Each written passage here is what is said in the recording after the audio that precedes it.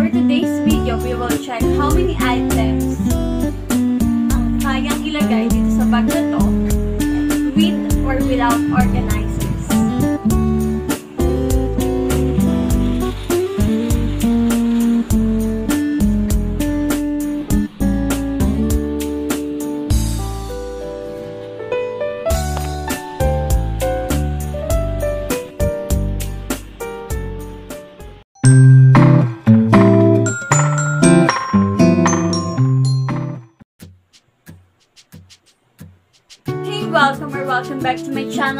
Those who are new here, my name is Denise. And for today's video, what I will show you is we will check how many items ang kayang ilagay dito sa micro bag na ito. And let's get started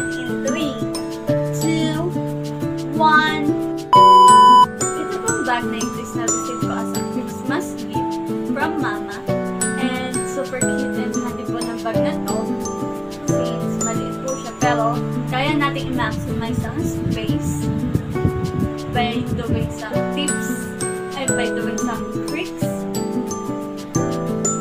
sa mga ilalagay natin. So, do you want to know more? Just keep on watching.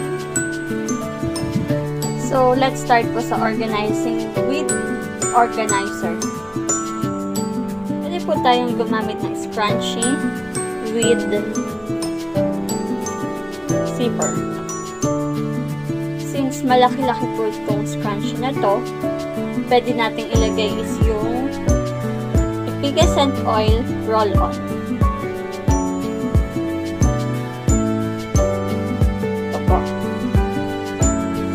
Then, ang next po ay itong lip balm. Ito naman po sa kabilang side. Then, some cash. Yung syempre yung dapat kailangan nyo lang for that day.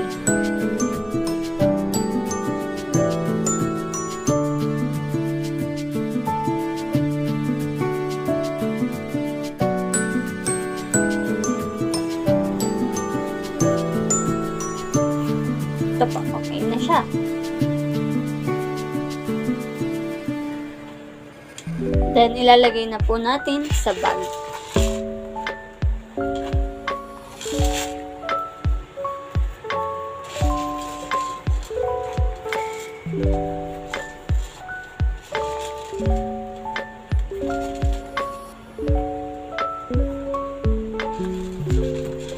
Ito.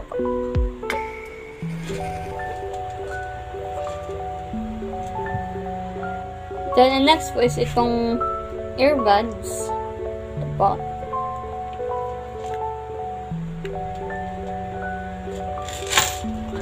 Dito po natin siya ilalagay. Kaganito.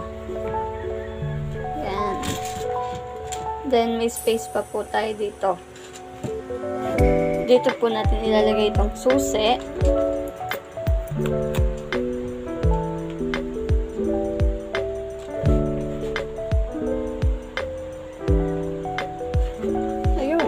That's all po. May space pa natitira.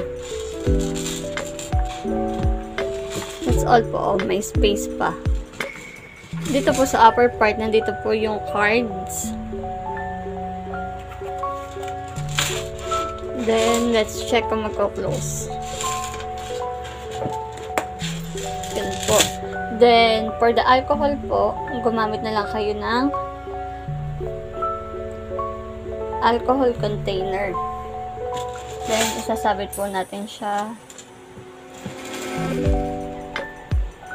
Ito, yan.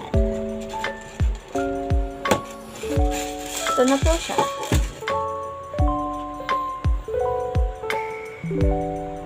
And next naman po is without organizer. Or without po yung scrunch na may zipper. Let's start. So, yun lang po tatanggalin natin. And we will replace it ng iba.